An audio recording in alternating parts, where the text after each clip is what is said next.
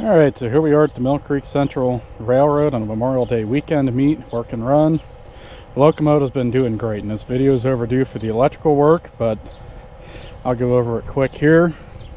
We've got two 12 volt, 100 amp hour batteries apiece connected in series through the circuit breaker on top to create a 24 volt system.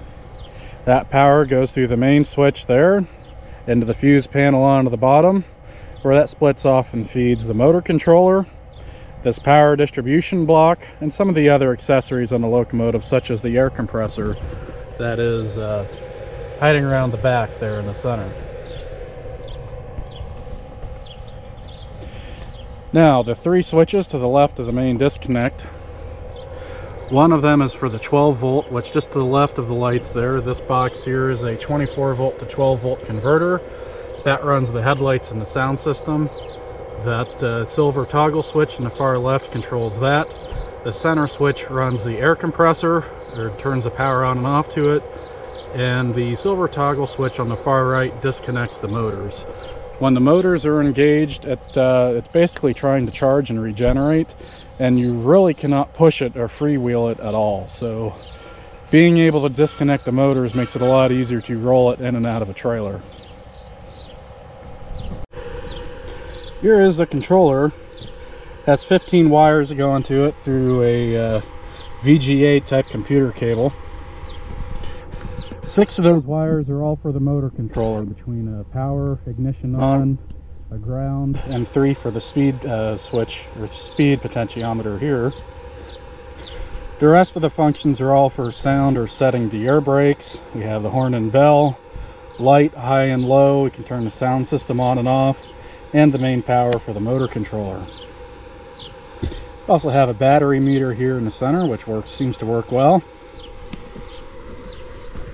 I'll put in some pictures here, but I've been running uh, for probably about six hours today, most of the time with uh, anywhere from seven to 10 cars behind it.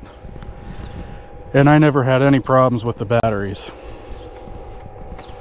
So anyhow, the air compressor is here on the back. I threw it on the charger when I went out to dinner just to make sure I had plenty of uh, battery for the night runs coming up here. Here's a closer look at the air compressor which goes into this air tank here. This is actually a paintball air tank. You see on the side it says Tippmann. That is a brand for paintball stuff. And then we have a 90 psi pressure switch. The gauge on the left is for the reservoir pressure. The gauge on the right is for the brake line pressure.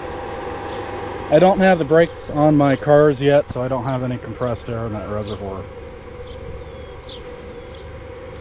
On the back of the panel, you can see the rear of the switches on top.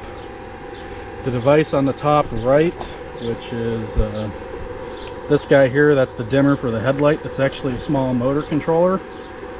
The soundboard is beneath that. That is a MyLocoSound soundboard. And the amplifier is just below that. So it's been doing really good. I sure put it through its paces this weekend.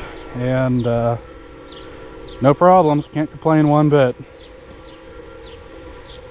If you have any questions, put them down below. Maybe I'll answer them in another video. Thanks for watching.